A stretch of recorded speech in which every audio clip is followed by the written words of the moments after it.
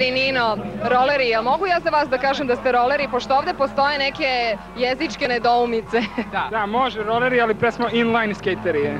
Je. Dobro. da, roleri. Ne, ja se slažem sa roleri. Dobro. Da, ali roleri su ljudi, a ne rolšle. Rolšle su rolšle. A, a su... O, rošule su inline skates ili roške ili rošule ili bilo kako. Nikakve rolke, roleri i tako to, to moram samo da kažem. Jel, Ok, da bismo bili u trendu, znači potrebno je da znamo šta je šta. A sada u čemu je tajna privlačnost e, ovog sporta? Šta je to što vas ovde najviše pali? Adrenalin. E, izazov samog sa sobom, znači ono, nalaženje novih granica, probijanje i tako. Adrenalin, ništa drugo. X hromazom.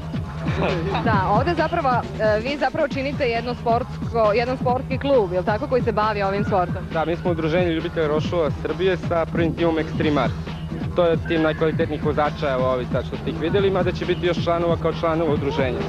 A kako se ovaj sport e, upražnjava? Verovatno u grupama, to je koliko sam ja primetila, ne toliko pojedinačno. Individualni sport, ali može i u grupama, to je ekstremni sport, mislim, može, može, nema granica, nema, još nema granica. Da, inače, on je u Americi veoma popularan, popularan je širom sveta, primećujem da je i kod nas u trendu, a postoji nekoliko zapravo e, primjena, nekoliko vrsta pristupa ovom sportu, je li tako? Da, postoji četiri podela ili pet, takozvana race vožnja, onda agresivna vožnja, onda rekreativna i hokejaška. Tako da ovaj, postoji rolšule koje su namenjene za svaki način vožnje. Znači.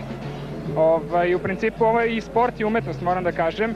E, način izražavanja i u principu za mene ovde ne postoji najbolji, svako se izražava na svoj način na koji može da pokaže ono što ima. neku ruku najbolje. Svako je neku ruku najbolje.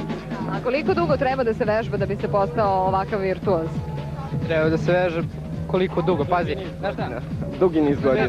Znaš kako, dugi niz godina. Mi ovde vežbamo stvarno to od kad, evo, ja se ne sjećam kad sam naučio da vozim, ja sam bio toliko mali, ali kažem ti, na primjer, ono godinu dana sasvim čovjek može da savlada ok da